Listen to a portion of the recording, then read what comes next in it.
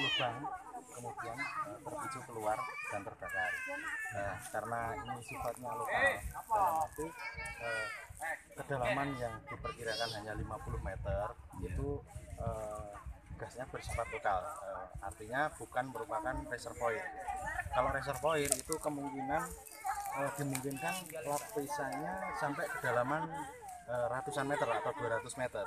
Jadi ini kalau 50 meter nanti gas ini nanti lama kelamaan akan habis dengan sendirinya. Tapi kita juga tidak tidak bisa memprediksi seberapa lama atau satu hari atau dua hari karena kita tidak tahu uh, lensa gas yang ada di dalamnya.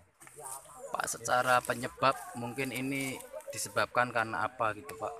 Uh, itu kantong kan uh, jebakan gas yang terjebak dalam uh, uh, lensa gambut yang kemudian ada ada lubang bekas sumur kemudian Eh, lama kelamaan merembes keluar sehingga gas-gas yang terjebak tersebut akhirnya keluar.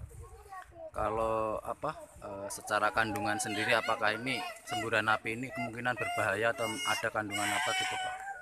E, berbahaya atau tidak bagi masyarakat atau lingkungan? Insya Allah tidak seiring dengan ini kan terbakar nanti lama kelamaan juga akan habis karena ini bersifat lokal Pak terus himbauannya ke masyarakat atau mungkin pemilik lahan gimana Pak?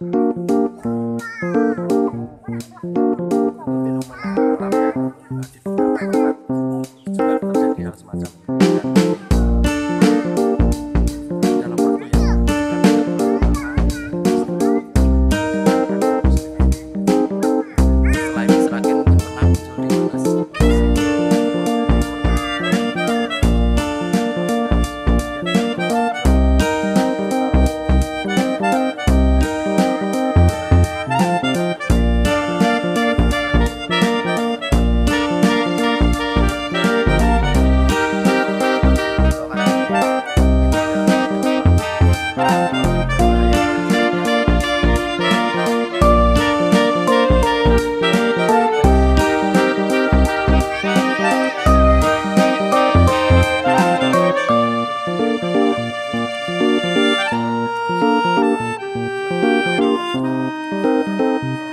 you.